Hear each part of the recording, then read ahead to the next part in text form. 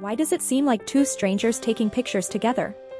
Netizens are disappointed in the lack of chemistry between Park Seo-joon and Han So-hee in their couple's photoshoot. Han So-hee and Park Seo-joon's couple photoshoot for their upcoming drama has disappointed fans with their lack of chemistry.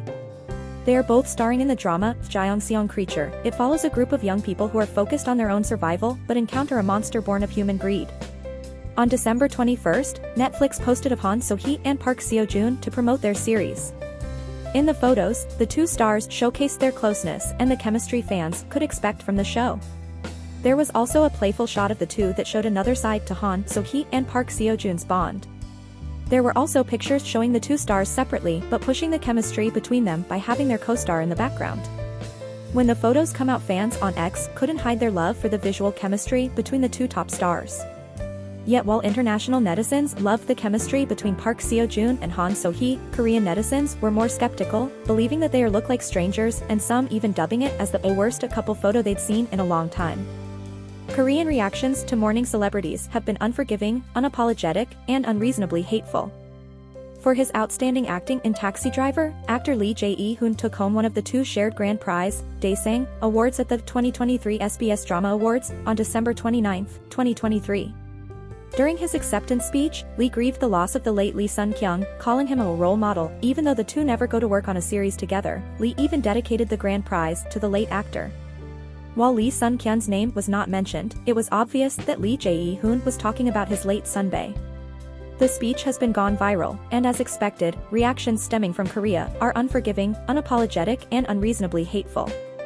While most of his fellow celebrities and international fans are mourning Lee's passing and the loss of a star in the world of acting, plenty of Koreans remain on the fence about Lee, clenching on to the piece of information that he was a VIP at an adult entertainment bar and using it to hold him to a much higher moral standard because he was a public figure. Shamelessly dubbing the late actor an adulterous addict, despite the lack of solid evidence, Koreans have expressed their disgust with Lee Je-hoon for looking up to Lee Sun-kyun. Some even criticized Lee Je-hoon for overlooking the essence of the taxi driver role he was awarded for, pointing out that character Kim Do-gi was an icon of righteousness fighting against drugs and prostitution.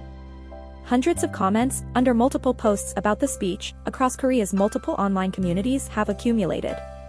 When a few Koreans tried to defend Lee Je-hoon and even call out the toxic nature of the comments being made, the backlash grew fiercer.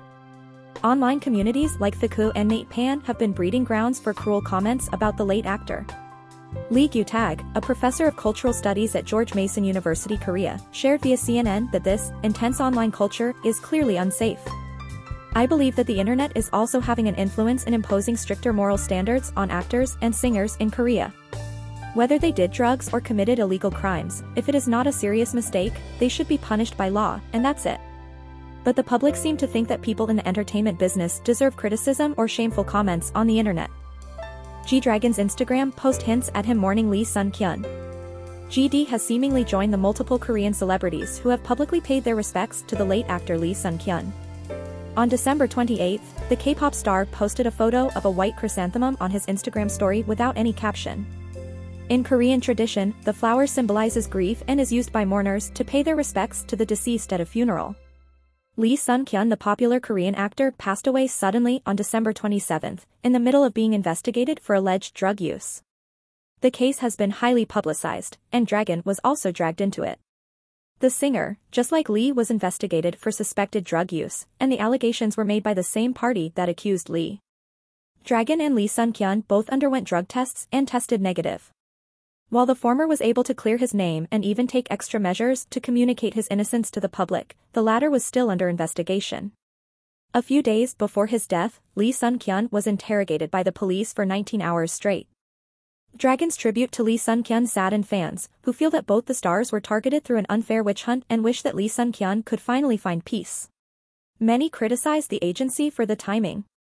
Lee Sun-kyun's agency speaks up against malicious rumors about the late actor.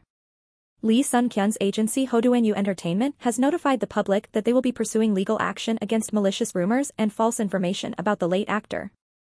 On January 3, the agency uploaded a post on its social media platforms, warning netizens that they are in the process of collecting relevant data about the misinformation and hearsay being circulated online about their actors and are taking legal action accordingly.